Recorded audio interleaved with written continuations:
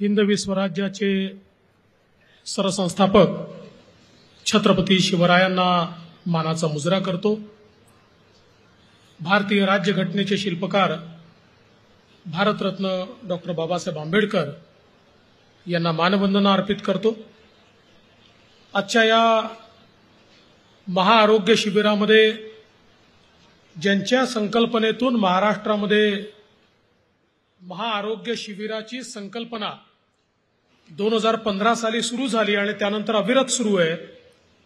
ते राज्याचे ग्रामविकास मंत्री सन्मान्य गिरीश महाजनजी केंद्रीय राज्यमंत्री आणि स्वतः डॉक्टर असलेले माननीय डॉक्टर भागवत कराडजी मंत्रिमंडळातील आमचे सहकारी सन्माननीय गृहनिर्माण मंत्री अतुल सावेजी विधानसभेचे माजी अध्यक्ष हरिभाऊ नाना बागडेजी भाजपच्या राष्ट्रीय सचिव विजयाताई रहाटकर ज्यांच्या मतदारसंघामध्ये हा कार्यक्रम होतोय ते शिवसेनेचे नेते आमदार संजय शिरसाटजी आमदार प्रशांत बंब आमदार नारायण कुचे त्याचप्रमाणे या ठिकाणी उपस्थित संजय कौडगे संजय केणेकर त्यानंतर सुहास शिरसाट संजय खंबा येते ज्यांनी खऱ्या अर्थानं हे शिबिर आयोजित केलं ते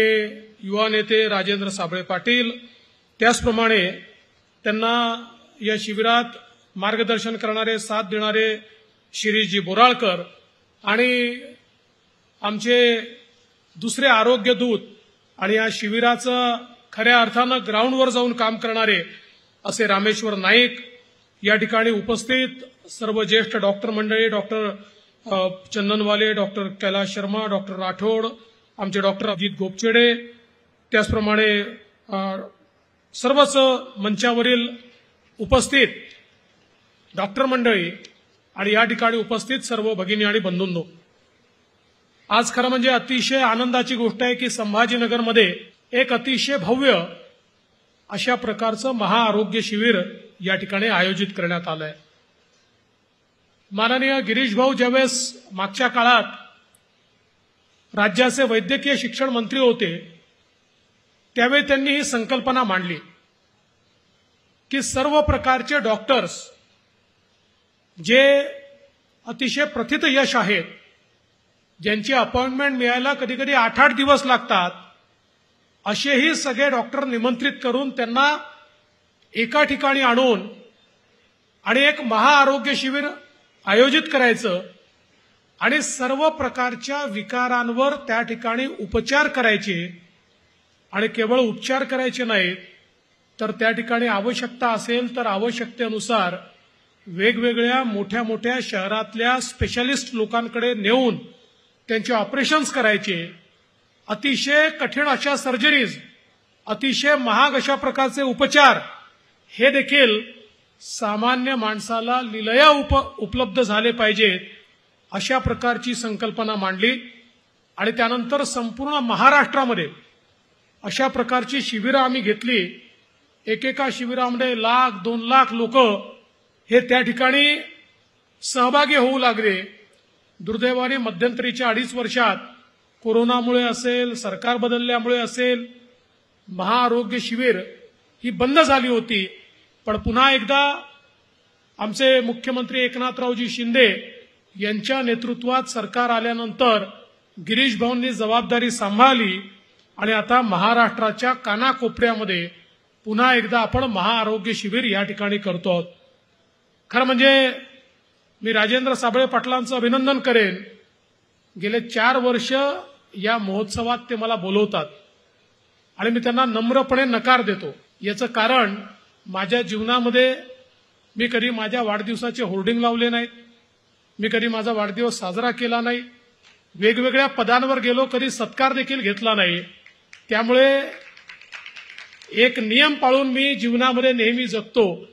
ते दरवेळेस माझ्याकडे यायचे. मी देवेंद्र महोत्सव करतोय तुम्ही या. मी त्यांना नम्रपणे सांगायचो देवेंद्र महोत्सवाला मी येऊ शकत नाही. कारण माझ्या नावाने एखादा महोत्सव व्हावा इतका काही मी मोठा नाही. पण ते अविरत तो करत होते. पण यावर्षी मात्र त्यांनी मला गुगली टाकली. आणि आमचे शिरीषजी बोराळकर संजय केणेकर सगळ्यांना घेऊन आले.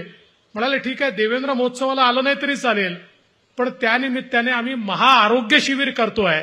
त्यामुळे त्याला मात्र तुम्हाला यावंच लागेल. आणि शेवटी महाआरोग्य शिबिर हे लाखो लोकांना त्या ठिकाणी जर आरोग्य सेवा देत असेल तर मी निश्चितपणे त्याला येईल म्हणून सांगितलं. आणि आज इथे आल्यानंतर मला या गोष्टीचा आनंद आहे. साडेतीन लाख घर लोकांचं पेशंटचं या ठिकाणी स्क्रीनिंग करण्याचा विक्रम हा या महाआरोग्य शिबिराने केलाय. आणि या साडेतीन लाख लोकांपैकी ज्यांना इंटरव्हेन्शनची आवश्यकता आहे ती लोक या ठिकाणी येत आहेत. आज आपण पाहतोय मंचावरची तज्ज्ञ मंडळी ही अशी आहेत की ज्यांच्याकडे लोक लाईन लावतात रांगा लावतात. अशी सगळी मंडळी या ठिकाणी आली आहे. कितीही वेळ लागला तरी या सगळ्या पेशंट्सला ते तपासणार आहेत. आणि यापैकी ज्यांना ज्यांना इंटरव्हेन्शनची आवश्यकता आहे त्यांच्याकरता कितीही महाग उपचार असले तरी देखील ते सगळे उपचार शेवटपर्यंत त्यांच्यापर्यंत पोचून त्यांना निरोगी करतपर्यंत सगळ्या प्रकारचे उपचार या महाआरोग्य शिबिराच्या माध्यमातून या ठिकाणी देण्यात येणार आहे. आणि म्हणून खरोखर एक अतिशय चांगलं आयोजन केलं त्याबद्दल राजेंद्रजी तुमचे आणि या ठिकाणी शिरीषजी असतील आणि सगळी टीम असेल सगळ्यांचे अतिशय मनापासनं मी अभिनंदन करतो. अर्थातच रामेश्वर नाईक शिवाय हे सगळं आणि गिरीश भाऊन शिवाय हे होऊच शकत नाही. त्यामुळे त्यांचं देखील मनापासनं या ठिकाणी अभिनंदन करतो. अनेक लोकांनी मेडिसिन दिल्या आहेत अनेक लोकांनी इक्विपमेंट दिले आहेत अनेक लोकांनी वेगवेगळ्या प्रकारची मदत केली आहे. अशा सगळ्या दानशूर लोकांचं मी अतिशय मनापासून अभिनंदन करतो. गिरीश भाऊ मला एका गोष्टीचा आनंद झाला की सगळ्या प्रकारचे डॉक्टर्स या ठिकाणी तुम्ही ठेवले आहेत आणि मानसोपचार तज्ज्ञ देखील ठेवले आहेत.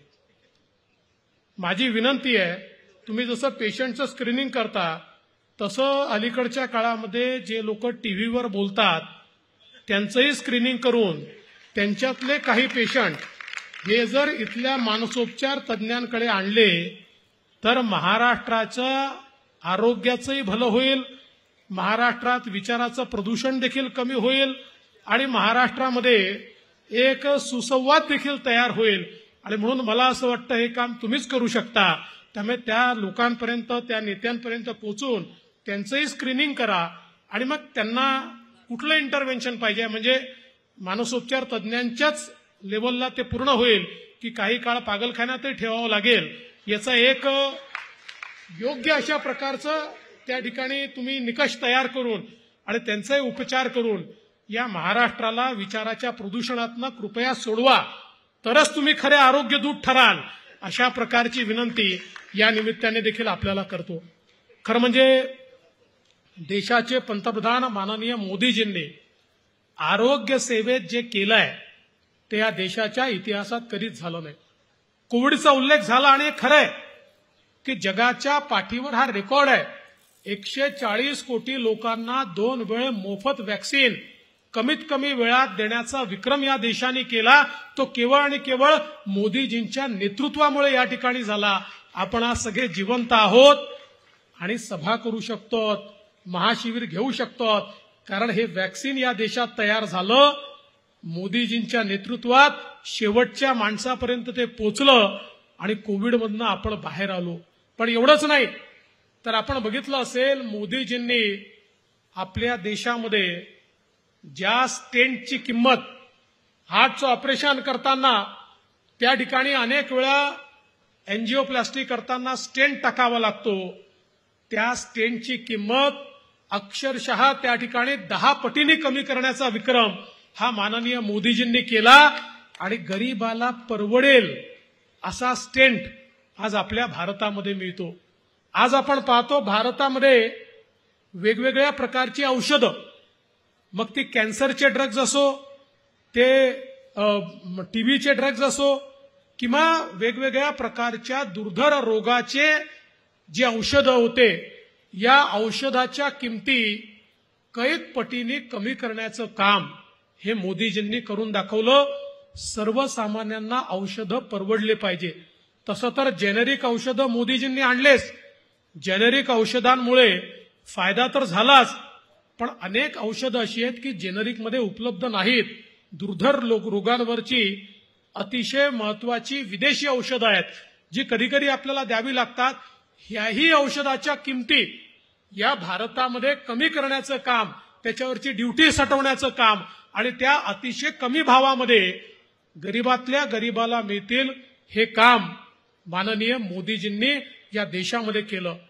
आज देशामध्ये अडीच लाख वेलनेस सेंटर मोदीजी करतायत की ज्या वेलनेस सेंटरमध्ये गावोगावी सर्व प्रकारचे उपचार हे गरीबातल्या गरीबाला त्या ठिकाणी उपलब्ध होतील.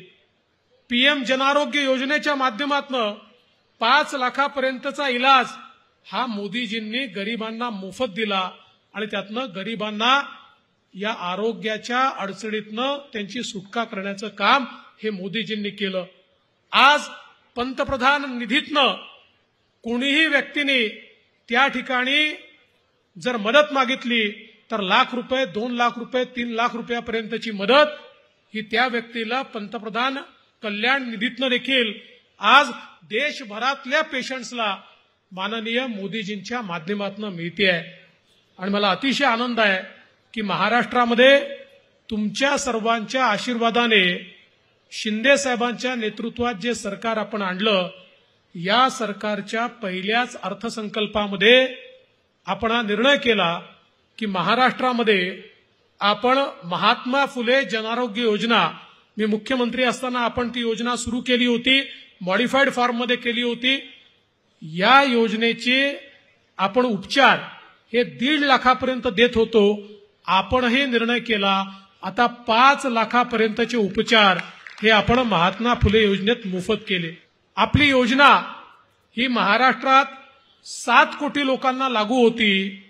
आता महाराष्ट्रातल्या संपूर्ण बारा कोटी लोकांना ही योजना लागू केली. त्यामुळे आता कोणी असं नाही की जो योजनेचा लाभार्थी नाही आता कागदपत्र मग ते एकवीस हजार आहे का? मग बेचाळीस हजार आहे का? मग हिरवं रेशन कार्ड आहे का? निळं आहे का? पिवळं आहे का? पांढरं आहे? काहीही पाहायची गरज नाही. आता प्रत्येक व्यक्ती ज्याला आवश्यकता आहे तो त्या ठिकाणी जाऊन हार्टचं ऑपरेशन असेल लंगचं ऑपरेशन असेल गुडघ्याचं ऑपरेशन असेल खुब्याचं ऑपरेशन असेल कशाचंही ऑपरेशन असेल हर्निया असो हायड्रोसिल असो सगळ्या प्रकारचे ऑपरेशन पाच लाखापर्यंत महाराष्ट्रातल्या प्रत्येक व्यक्तीचे मोफत करण्याचा निर्णय आपल्या महायुती सरकारने या ठिकाणी घेतला. आणि खऱ्या अर्थानं गरीबाचं सरकार काय असतं मध्यमवर्गीयांचं सरकार काय असतं वंचितांचं सरकार काय असतं हे आपण या ठिकाणी दाखवून दिलं. आताच गिरीश भाऊने सांगितलं चौदा मेडिकल कॉलेजेसला आपण मान्यता दिली आणि आता त्यातले अकरा सुरू होत आहेत. उरलेले तीन देखील आपण सुरू करणार आहोत. महाराष्ट्रातल्या प्रत्येक जिल्ह्यामध्ये सरकारी मेडिकल कॉलेज हे आपण त्या ठिकाणी तयार करतो आहोत. जेणेकरून जास्तीत जास्त मुलांना डॉक्टर व्हायची संधी मिळाली पाहिजे आणि डॉक्टर झालेल्या मुलांनी गरिबांची सेवा देखील केली पाहिजे. या दृष्टीने मोठ्या प्रमाणात या सेवेचा विस्तार देखील आज आपण महाराष्ट्रामध्ये केलाय. आणि म्हणून सामान्य माणसाकरता आवश्यक सगळ्या गोष्टी आज वयोश्री सारखी योजना मोदीजींनी आणली. गरिबांना त्या ठिकाणी छडी असेल काठी असेल टॉयलेटचं कमोड असेल त्या ठिकाणी चष्मा असेल त्या ठिकाणी कानाचं यंत्र असेल कोणाला पाय असेल हात असेल जे हवं ते सगळं मोफत हे या ठिकाणी आपण देतो. आणि कुठल्याही प्रकारची विवंचना अगदी गरिबांना ज्या औषधी लागतात लॉंग टर्मच्या औषधी लागतात कोणाला डायबेटीस आहे कोणाला टीबी आहे या सगळ्या औषधी मोफत देण्याचं काम आज मोदीजींच्या नेतृत्वात देशात आणि महाराष्ट्रामध्ये आपलं सरकार करत आहे आणि म्हणून गरिबांच्या पाठीशी उभं राहणारं सरकार रुग्णांच्या पाठीशी उभं राहणारं सरकार वंचितांच्या पाठीशी उभं राहणारं सरकार अशा प्रकारचं हे सरकार आहे. आपल्या सगळ्यांचे आशीर्वाद आमच्या पाठीशी असेच राहू द्यात.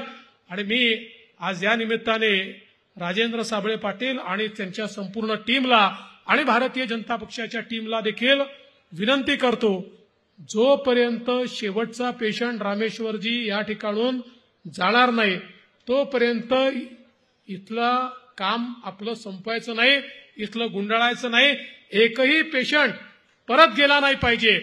आणि ईश्वराला एवढीच प्रार्थना करतो या शिबिराच्या माध्यमातनं आलेल्या प्रत्येक पेशंटला आरोग्य मिळावं अशी ईश्वरचरणी प्रार्थना करतो. आणि या चांगल्या कार्यक्रमात तुम्ही मला निमंत्रित केलं त्याबद्दल तुमचे आभार मानून माझे दोन शब्द संपवतो. धन्यवाद.